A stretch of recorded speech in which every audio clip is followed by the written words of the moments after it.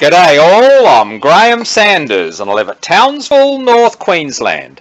That's where latitude 19 crosses the east coast of Australia. I've been doing a video series on a species Tetragonula sapiens and I'm going to show you my prototype hive design that I'm going to experiment with.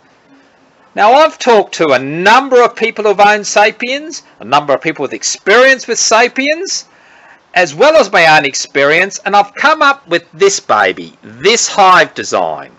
Similar to the hockingsi hive design and you can look that up on the video. Four stories but smaller. To reiterate on hive design, if you're going to make it out of wood, dense wood. Wood you can't drive a nail into. None of this light pine, none of this light wood. It must be dense. You need that thermal mass for these hives. But let's get into this hive design. We start off with the base. As you can see here, a small entry hole, 8 millimeters. Everybody, including myself with my own experiments, has concurred sapiens will reduce the size to this and even smaller. There is utterly no point going any bigger so you keep it to a small entry. The actual size of the box, that's 100 to 110 square. Around that size. Height, this is deck and timber, about 900. Gives you a volume, depending on the square size here, of 0.9 of a litre to 1 litre. Now, Sapiens put their stores more randomly around the hive, but you can encourage them to put stores where you want with a divider plate. And you'll notice with this divider plate, the gap is at the back. That gap, oh, say 10 mil, could be 15 even, but the plate is snug everywhere else. That's to encourage the bees to go right through and then up, which means they will more than likely put their first load of stores in the bottom here hole in the bottom so you can get your finger in if it's a bit sticky to pull out the plate for whatever reason. Also a little access point as well. So that's your base. Your next level. Doot, doot, doot, doot, doot. Is of course you're starting your brood chamber. And again, same size, anywhere from 100 to 110. It's about 900 high as you can see there, just sits on top, just nice and neat. And that's the start of the brood chamber. The plate forces the brood here. Having one brood chamber is not enough, because Hocking's, oh, sorry, Sapiens can build broods about two litres. So you need a second one. And here it is. Fits on top nice and neat too. It has a plate at the top with a gap at the back to stop the brood going any higher keeps the brood into these chambers. I've put a very small vent hole here, probably, oh, what's that, two to three mil. I don't know if sapiens use vent holes like hockingsi. If they don't like it, they can plug it up. But more importantly, it's got the plate here, it's removable, so that it keeps the brood confined. Now this is very important with sapiens. One thing they like to do is if they can use like a climbing mechanism, something vertical, they tend to run the brood up the vertical. This has been confirmed by many people. They will run it up the vertical side. They like vertical sides more than the other bees. And if there's the more vertical it is, the more they like it and the more they run the brood up the vertical sides. This hive design allows that both vertical climb of the brood and clumping of the brood that sapiens are famous for. Top chamber is just a box. I don't know what they're going to store in there, whether it's going to be more honey than pollen.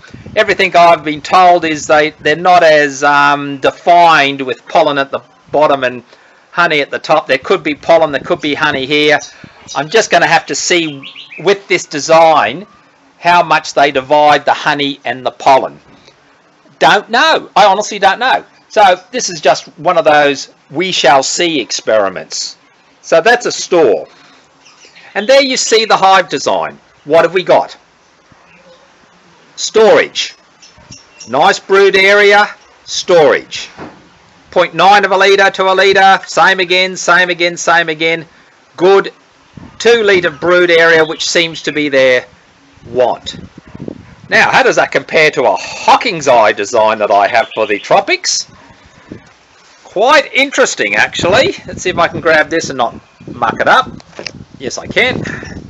Look at the difference in the size of the hives. Here we got the Sapiens. It would be barely, what's that? One, two, three, four litres in total, and I'm probably being generous.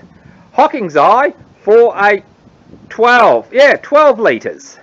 You can see the difference in hive design. One's small, one's large, but that's what native bees are about. Okay, so this is your hive for a sapiens, but there's more. If you live, say, 15 degrees latitude to the equator and don't suffer the cold or too much of the heat, this hive is fine the way it is.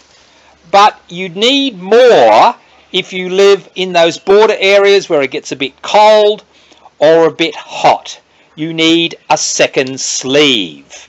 Remembering that the thickness of this timber is nowhere near as thick as say something in this hive. So what do we do? We make a closet for it or a skin. So let's put this out of the way for the moment. Uh, we'll chuck it there. We'll, we'll just put all these parts wherever I can get them out of the way. Put those two over here. Okay, so we've got to make a closet. And here it is. You can see it's a box. It's got three sides, a slot in there. You'll see how that works in a minute. Hole there to allow the entry of the bees. And this has a back and a roof. And the whole idea of this is, as I said, is a closet. It increases the thickness of the hive and allows for protection against both heat and cold is what sapiens need if you want to grow a big hive. If it's a small hive, you don't need to worry about it. But if it's a big hive, three litres and above, you need that extra thermal protection and also to encourage air venting. And you'll see what I mean in a minute. So how does this all go together? You remember, whoops, I just got that leaf out of the way. You remember our base, there it is, has a lid to it, as you can remember that. There it is. There it is, the base, the lid, that actually just slides in. Pushes in. And when you turn it around, you can see that gap. The hole's there. And bingo! It's in its nice little home. Nice and snug fit. There's a little bit of a gap around it, and that's very important. It doesn't have to be bang on. In fact, a little gap is desirable. And you just build a hive. So, You'll see I've got them nicely numbered, so it's very easy. Number two goes in. As you can see there, is number three. Again, that's the one with the divider plate on it. That goes in there. There's that vent hole, very important. You'll see why in a minute. And of course, the top. Number four, in she goes. Look at that. So, all in there. It has a back. There's your back.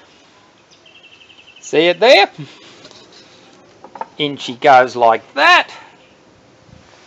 And of course, once you have that, it needs a lid, doesn't it? And there's your lid. On she goes. And what do we have? A new hive. And as a plane comes across,